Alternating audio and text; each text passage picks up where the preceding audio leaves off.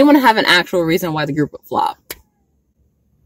Because I haven't heard a single one. I've seen so many videos about, oh, like I think, I think. It's like, it's not about what you think. It's about looking at the facts, looking at the climate of K-pop, looking at who's actually in the group. Mm-hmm. Does it look like I'm in heaven? It's so white outside. Ah, what is going on, guys? It is a hot Thursday afternoon. I wanted to just do a car rant where I talk about what's going on in K-pop right now in regarding to Super M. So I've been seeing a lot of hold on. I've been seeing a lot of people talk about Super M ever since my reaction video came out. I really want to go in and talk about Super M a little more and kind of like talk about the concerns that a lot of fans have with Super M because it seems like a lot of people don't get it. Like, uh, it's mm-hmm, okay. Let's just talk about this. I'm ready to roast. I'm ready to expose. A lot of fans have with Super M is the fact that they're just taking a random route. It's like there's no strategy, there's no, you know, coordination, nothing makes sense, you know what I mean? But that's just simply not true. Like, okay guys, I know that we, like, especially these K-pop fans, we love to shit on like SM and like YG and sometimes JYP, but especially SM and YG. But here's the thing. SM Entertainment is a business, okay? This is a part of their business plan. They're not just doing this for fun. They're not doing it like it's it's somewhat it's somewhat of an experiment because at the end of the day, SM doesn't really know how this is gonna like work. But there are a lot of people who are like, oh, SM just do whatever. They will. It's like, this has all been planned out for a very long time. You know what I mean? SM, SM is a million, probably almost billion dollar like business right now. And K-pop is almost probably a million, a billion dollar industry. So do you really think SM's just going to come out here and put their, put their most attractive and most like Western friendly members of their boy groups together for no reason. Like, no, you know, you know, I'm not gonna talk about that. I'm just gonna rant a little bit because a lot of people, when they talk about Super M, you know, they want to make it like, oh, I'm not gonna support that because SM is um starving me from my faves having to come back and blah blah. blah. And I'm like, your faves are in the group. You know what I mean? Like, this is like. And a lot of people also want to make it like SM doesn't really know what they're doing when, like I said, they are like a complete business entity and they meticulously they thought about this decision and they're doing this at a great time like let's talk about the climate of k-pop in the western world because it has grown to like an, an amassable feat you know, we have like BTS selling out literal stadiums all around the country and the world. Then on top of that, like your favorite K-pop group has probably came to America already so far in this past 2019 we had so many groups especially in march and april like can we talk about my wallet? Like it's gone. Like my money is gone. I've literally in this whole year i've seen blackpink bts like twice um twice. And i've like just other groups and we also have KCON and things like that and this k-pop keeps growing popul- in popularity. So this is the perfect time for sm to debut this boy group especially this is something that SM really did right. SM got SM already has reputation with NCT fans, with EXO fans, with um with the SHINee fans. So of course, of course, the best thing for SM SM to do instead of trying to push like all these different groups who have kind of like medium to like good quality like fan bases in America, they put they put all of their most popular members of their most popular groups that do well in America and they put them in a group so that they can promote in America. Like that is a great idea. You know, this is not a bad idea. Like, as, like I said, SM's a business. They know what the hell they're doing. You know, a lot of people are like, well, the group's gonna flop because blah, blah. Okay.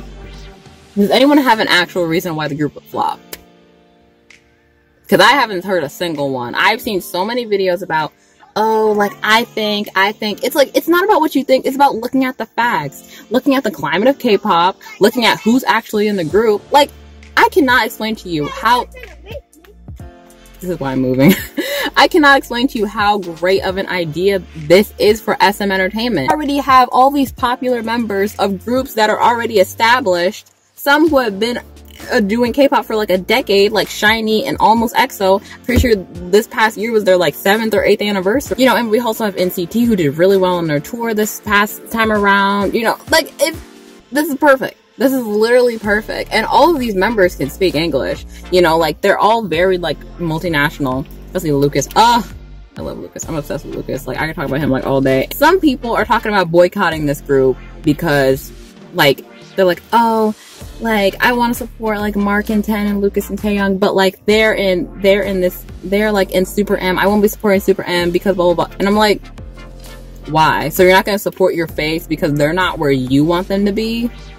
Make it make sense, girl. Guess what? It doesn't. You can't make sense out of something that doesn't make sense at all. So in short, I think it's really important to understand what S- what SM is trying to do and to actually support your faves because if the group flops, if you're like, well, I'm, I'm going to encourage people not to support the group. And then when someone's like, I'm not going to support the group, like a hundred more people see that, even if you, even if you think no one's going to see your random Twitter post and like it gets like three retweets and like seven likes, that, that's like hundreds of impressions. And then eventually people are going to be like, oh, what's the point of supporting this group when no one else is going to support it? Because, you know, the law of social proof exists. So in turn, you're basically like making your faves feel stupid and like, I mean, cause they're not doing this willingly. SM is like, I mean, the boys are basically products of SM and in turn, SM is making them into a group. So why wouldn't you want to support your fave? You know what I mean? It's like, I just don't understand how people don't want to support this group.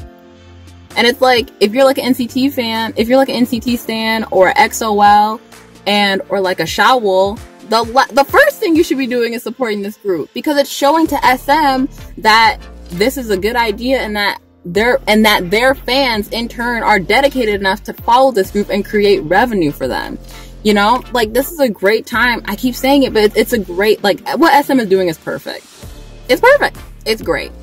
So, you know, if you don't support the group, they're still going to make money regardless you know, but I think it's really important that you do like stream, like you don't have to buy tickets and stuff like that. But I think it's important to support this and show SM and other K-pop companies because when you, because when SM, sorry, because when SM does this, they're not just doing it for their data, for their numbers. Other K-pop groups are what other K-pop companies are watching this. You know what I mean? This could bring so much more opportunity. We could actually get like a, like a SM town in in LA, New York, and Chicago. You know what I mean? Like they could they could like do something really cool and like do SM towns in America because they don't do SM town in America anymore because they did it once in like 2011. They went to like Anaheim and then they did something at Madison Square Garden, but that was like almost 10 years ago. You know, and they do it like everywhere else. They did it in I believe in Dubai. They um, you know, they go to a bunch of other places, mostly in Asia. But it would be wouldn't it be great to have them come here? Exactly. So by you not supporting Super M, it's just it's just dimming the chances of American and Western K-pop fans of having the liberties of having more K-pop interactions because this is a this is basically like I mean it's an investment but it's also a test. You know, it's a test to SM to see okay, um, you know, is our not just K-pop, but are our groups, have we done good enough to where their fans know that the group exists? You know, we're getting the, we're getting the social proof out there. We're getting our name out there. And are they willing to support us? You know, and you know, you can kind of say whatever you want. You know, I agree. You know, I feel like SM is kind of like using the fans of, of the members in the group to make the group popular. But that's kind of the whole point. You know, it's a, and they call them the Avengers of K-pop. Oh my god, I didn't even I didn't even talk about that in my first video. SM really was out here like, okay, girl, these are like the pinnacles of male organisms. Like I said in the first video, which you haven't, if you haven't seen, you better check it out. But like, I, I totally forgot they called them the Avengers of K-pop. Like, I mean, they're not wrong. at least they're the Avengers of SM. I'm not sure if they're the Avengers of K-pop, but we got some hella talented dudes up in, in that group. So I would recommend, guys, please go out and support this group. Don't sit here being a salty ass stan because you know what? you know what? You're gonna you're gonna stream anyway. You're gonna watch the music video. You're gonna buy the merch. You're gonna like whatever they do. You're going to pay attention to and be a part of anyway. So there's no point in being like, oh, I'm not gonna support. Like, don't be bitchy. Don't just hate a group because everyone else hates them because that makes you a sheep.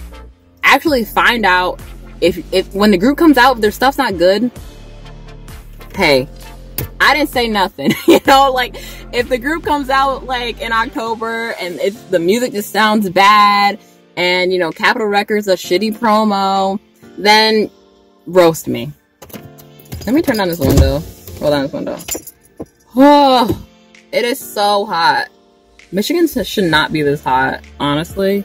Climate change says hi. So in short, support the group. Don't be a salty stan, okay? You should be supporting the group even more if you're if you're like a fan of these guys, of these of these members of the group.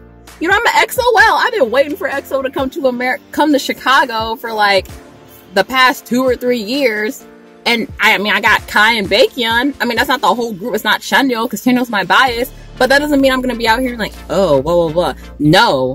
That means if the group does well, we're going to get more of SM groups here. You see what I mean? Like, this, it's great. It's a ushering in. It's, it's like kind of like SM's full breakthrough into the market. Which in turn, they, all the groups have strong fan bases, like I said, so it's just going to be more successful. It's going to be great.